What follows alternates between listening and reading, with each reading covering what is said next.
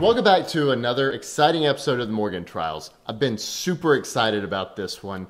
So, uh, about a month ago, Barefoot Wine, which is one of the brands of the company I work for, teamed up with Oreos to make a Oreo flavored wine. You may have seen this all over the news, and uh, they sold out within the first hour. And their site went down because they had so much traffic. So we couldn't get any. I went on eBay. These things were going for up to a thousand dollars to try and get this box. I was a little disheartened. But luckily, thanks to one of my lovely coworkers that was able to get an extra box, I was able to get my hands on one. Stacy is one of the biggest Oreo connoisseurs I could think of. Generally, we get some sort of Oreo gift for her for Christmas every year. The only difference is she likes them double stuffed. These, they teamed up with Oreo Thins. It's an adult product. We got to go with adult Oreos, the ones that are a little better for the waistline. So, Stacy's not a big fan of Oreo Thins, but listen, it still tastes like Oreos. So, let's see how it all goes together. So, first off, it comes in a pretty awesome box. It uh, comes together, it says Wine's Favorite Cookie. We're to open this up. And when we do, so there's two two bottles of wine and a thing of Oreo thins, and it looks like some instructions on how to enjoy.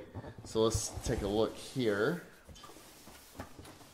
So name a more perfect pair, and we'll wait. So let's see here. And we are going to open this one.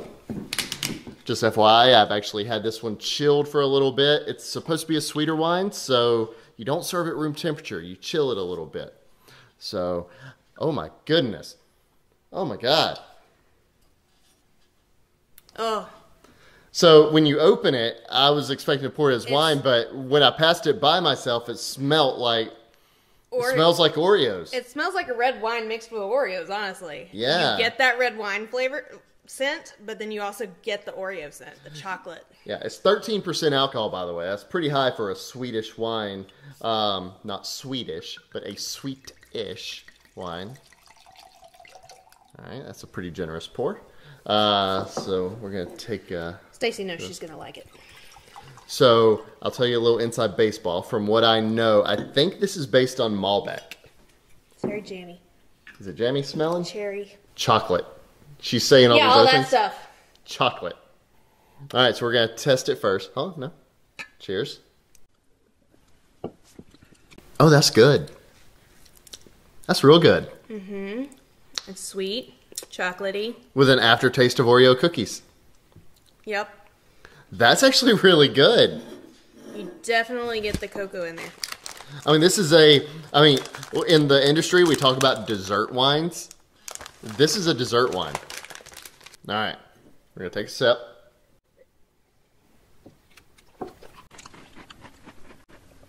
OMG, I'm in love. That's really good.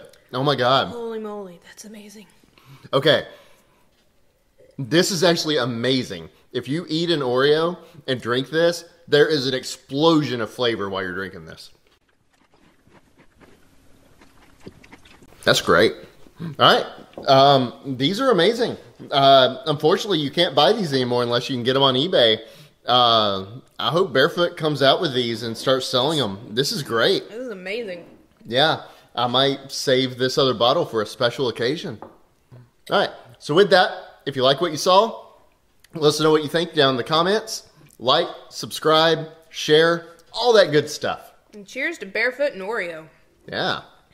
We'll see you next time.